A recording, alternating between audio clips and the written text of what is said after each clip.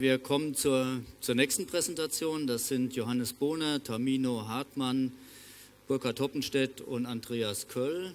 Es geht wieder um Computer Vision, diesmal allerdings um Analyse von biologischen Bewegungen anhand von Seilhüpfen und Hampelmann. Ja, hallo. Also ich denke, wir dürfen mit Stolz sagen, dass wir die gefährlichste Gruppe des vergangenen Semesters waren. Denn wenn sich irgendwer in OS27 verirrt hatte, dann wurde er zack eingesackt, musste mit uns in den Kinect-Raum kommen und durfte nicht eher gehen, bevor er 30 Hampelmänner und 30 Mal Seilspringen gemacht hat. Mit und ohne Gewichtsweste. Wir dürfen jetzt erstmal kurz zeigen, wie das dann in unserem Studio ausgesehen hat. Wir hatten eine Oberfläche, unsere Programmoberfläche und unsere Testperson. Der Termino macht es uns mit dem Blaumann und der Gewichtsweste vor. Der Blaumann ist deshalb da, weil die Kinect leider ähm, dunkle Farben, schwarze Hosen, relativ schlecht erkennt. Dafür haben wir den gebraucht. Und die Gewichtsweste ist einfach zur Modifikation der Bewegung.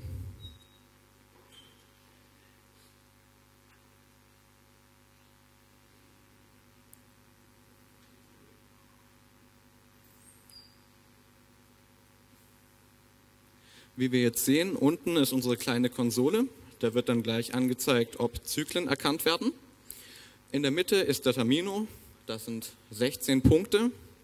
Jede von diesen Punkten hat eine X, eine Y und eine Z-Koordinate. Das gibt dann sozusagen für jede unserer Bewegungen einen 48-teiligen Vektor, den wir dann nachher brauchen. Und los.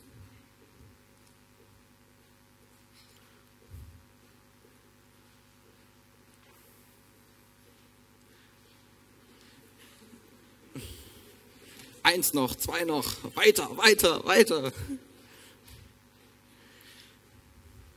Wir sehen, die Zyklen wurden alle erkannt. Ein Applaus für den Ramino bitte. Und das ist jetzt die Basis für unsere Arbeit. Doch was wollen wir eigentlich mit unserer Arbeit erreichen? Wir haben eigentlich zwei Sachen, die wir hauptsächlich erreichen wollen. Nämlich einmal wollen wir erkennen, automatisch ist diese Person mit oder ohne Gewichtsweste gesprungen und wir wollen danach die Bewegung resynthetisieren, also wir wollen sie mit Parametern dann modifizieren. Das Ganze ist das Anwendungsfach Computer Vision. Am Anfang gab es ein Paper zu bearbeiten, das wir dann erweitert haben auf unsere eigene Fragestellung. Betreut wurden wir von Georg Kleier und Professor Heiko Neumann.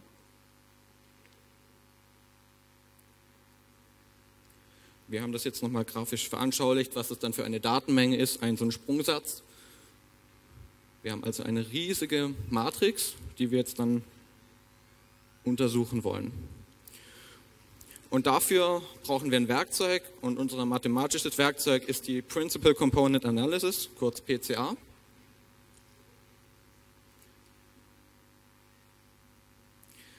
Das ist eine Grafik aus der englischen Wikipedia, das ist im 2D-Fall ganz gut veranschaulicht. Wir haben unsere Punktewolke, unsere Messungen und da sind die Vektoren. Der eine Vektor der ist in Richtung der größten Varianz ausgerichtet, der andere orthogonal dazu. Und interessant wird es jetzt, wenn wir viele Dimensionen haben, dass wir Vektoren weglassen können. Wir zeigen das in der nächsten Abbildung. In diesem seht ihr zwei Informationsgrade, nämlich einmal den blauen und einmal die gelben Balken. Die blauen sind die einzelnen Eigenwerte. Das fängt an mit dem ersten, der deckt knapp über 80 Prozent der Informationen ab der zweite dann schon rapid weniger. Die gelben veranschauligen, wie man das aufsummiert. Wir sehen also, dass wir hier schon nach dem zweiten ziemlich, ziemlich viel der Informationen von unserer Bewegung erhalten haben können. Und den Rest können wir vernachlässigen.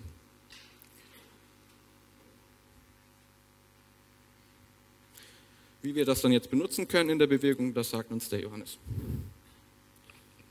Also hier in dem Video ist das jetzt gleich animiert.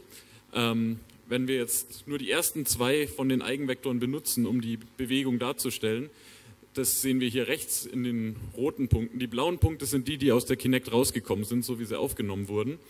Ähm, und jetzt nach Weglassen der, von den letzten 46 Eigenvektoren, also nur unter Benutzung der ersten zwei Eigenvektoren, ähm, ist dieses rote Bild. Und man sieht schon, hier in der Mitte ist die Überlagerung von beiden einmal blau, einmal rot. Ähm, dass das sich doch ziemlich gut überdeckt. Also mit zwei Eigenvektoren kann ich schon die, ganzen, ähm, die ganze Bewegung eigentlich ziemlich gut darstellen.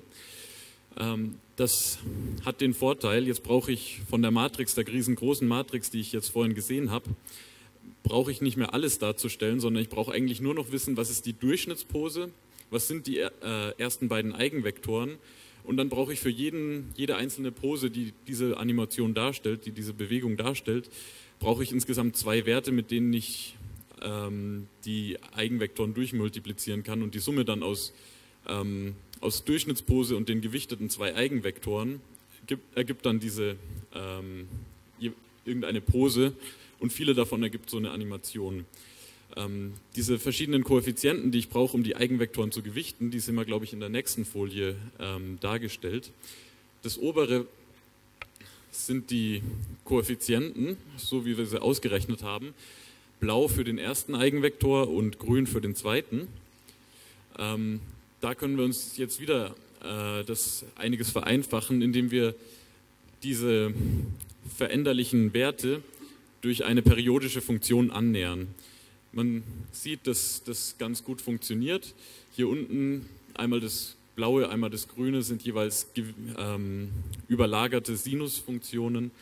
Ähm, und jetzt brauchen wir anstatt jeden, die einzelnen Werte einzeln für, jede, für jeden Frame abzuspeichern, brauchen wir nur noch die, ähm, die Parameter, die diese periodischen Funktionen beschreiben, abzuspeichern und dann haben wir die gesamte Bewegung komprimiert dargestellt. Also vorher hatten wir diese riesengroße Matrix, jetzt haben wir nur noch die Durchschnittspose aus 48 Werten und die ersten zwei Eigenvektoren, die auch jeweils aus 48 Werten bestehen. Ähm, und dann noch die Parameter, das sind, je nachdem wie genau man es beschreibt, so zwischen fünf und zehn Parameter, die man braucht, um diese periodischen Funktionen jeweils zu beschreiben. Wie genau das jetzt funktioniert, das sehen wir in der nächsten Animation. Hier ist Rot, ist wieder äh, das gleiche Rot wie vorher, also das, was nach der Hauptkomponentenanalyse passiert ist. Und Schwarz ist das jetzt, nachdem wir ähm, die, die ähm, periodischen Funktionen erstellt haben und jetzt nur noch die Parameter, äh, die Koeffizienten durch die periodischen Funktionen darstellen.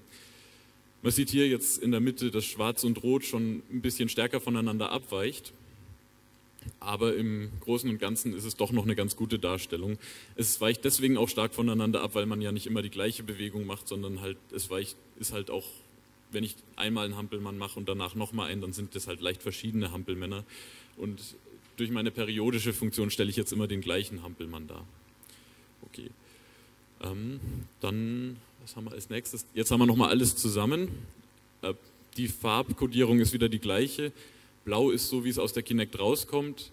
Ähm, Rot ist das, was, was ich nach der PCA äh, erhalten habe. Schwarz das, was dann am Schluss rauskommt nach dem Fit. Und in der Mitte sehe ich nochmal Blau und Schwarz miteinander verglichen. Also ähm, Blau ist meine riesengroße Matrix mit allen Einzelwerten und äh, die schwarzen Punkte, die kann ich durch durch jeweils äh, so um die 140 bis 150 Werte darstellen, je nachdem, wie gut ich äh, die periodische Funktion darstelle. Ähm, also ich habe hier das deutlich reduziert, das Datenvolumen. Ähm, und man sieht, dass es eigentlich immer noch ganz gut die Bewegung darstellt. Der Grund, warum wir das gemacht haben, ist der, dass, ähm, dass wir jetzt vergleichbare Vektoren haben, mit denen ich verschiedene Bewegungen, einmal hat einer eine Bewegung mit, ähm, mit Gewichtsweste und eine andere Person hat eine Bewegung ohne Gewichtsweste gemacht und jetzt kann man die durch diese 140 bis 150 Werte sehr gut miteinander vergleichen. Können wir nochmal weitermachen, eine Folie? Ah, jetzt, ähm, das Ziel war jetzt zu erkennen, automatisch zu erkennen, ob die Bewegung mit einer Gewichtsweste passiert ist oder ohne. Äh, hier sieht man das in einem Diagramm, wie viele Fehlklassifikationen äh, passiert sind, abhängig von, äh, von einem anderen Wert hier unten. Der, der sprengt jetzt den Rahmen genau zu erklären, was dieser andere Wert ist, aber man sieht hier, dass das Minimum liegt unter 25 Prozent. Also das Minimum hier hat ähm, weniger als 25 Prozent der Testpersonen äh, falsch klassifiziert. Das heißt, über 75 Prozent sind richtig klassifiziert worden, hat das System erkannt. Ähm, diese Person hat keine Gewichtsweste und die Person hat tatsächlich auch keine Gewichtsweste getragen. Okay. Eine weiter bitte. So, und zum Schluss noch, was wir euch auch noch zeigen möchten, war dann eine Animation, die wir dann mit einem 3D-Programm gemacht haben. Da war jetzt nochmal die Schwierigkeit dabei, ähm, dass wir die, aus der Kinect die absoluten Daten von den Gelenken bekommen haben und in solchen 3D-Programmen äh, das Format, mit dem man dann solche Animationen machen kann, das basiert auf, auf den relativen Abständen von den Gelenken zueinander und auf den relativen Winkeln zueinander und das musste erst umgerechnet werden. Ähm, man sieht hier auch, dass die, die Person, die scheint in der Mitte immer so ein bisschen über dem Boden zu schweben. Äh, das liegt daran, dass die Kinect eben nicht ganz genau gearbeitet hat. Also so, dass es eine Animation von einer Person, die vor der Kinect Hampelmänner gemacht hat. Okay, das wäre es von unserer Seite, glaube ich. Oder haben wir noch eine Folie? Ich glaube, nee, das war's.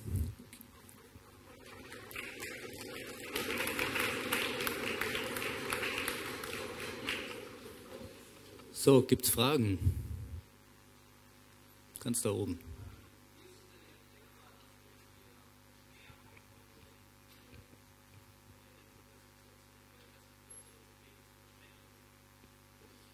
Also die Frage war, ähm, dass wenn wir mehr Hauptkomponenten verwenden, äh, dass das Klassifikationsergebnis schlechter wird. Ähm, dazu muss ich sagen, also ich hatte, ja nicht, ich hatte das nicht genau erklärt, was für Hauptkomponenten das jetzt eigentlich sind. Das äh, haben wir hier ausgelassen aus Zeitgründen. Äh, das Geheimnis ist, das war jetzt nochmal eine zweite Hauptkomponentenanalyse, die wir nicht mehr aus, auf den Posen ausgeführt haben, sondern auf den, auf den gesamten Bewegungsvektoren. Und Entschuldigung. Ich, ich wollte nur, ich, es kann sein, dass du Overlearning meinst. Also wenn wir ganz viele von den Hauptkomponenten verwenden, dass es dann auf Sachen anschlägt, die wir eigentlich gar nicht wissen wollen und die dann unser Gesamtbild verzerren. Ist es das, was du meintest?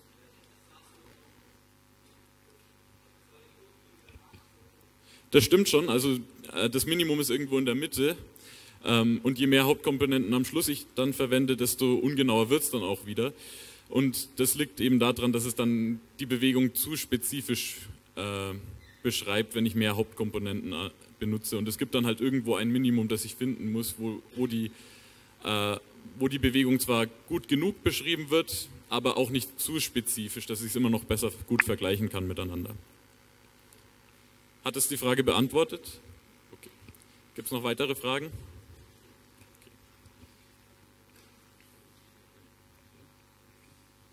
Keine weiteren Fragen?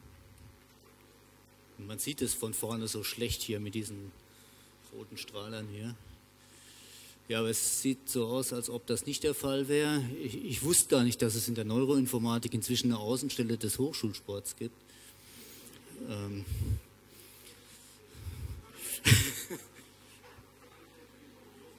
Bitte, was, Georg? Ah, hier gibt es sogar Kurse im Universitätswirt. Über das richtige Tragen von Gewichtswesten oder was? Ja, okay. Gut. Also wenn jemand mal irgendwie sich äh, austoben will, dann äh, geht er zu Georg Leier und äh, macht Posen mit Gewichtswesten. Gut, ja, vielen Dank nochmal für die Vorstellung. Und äh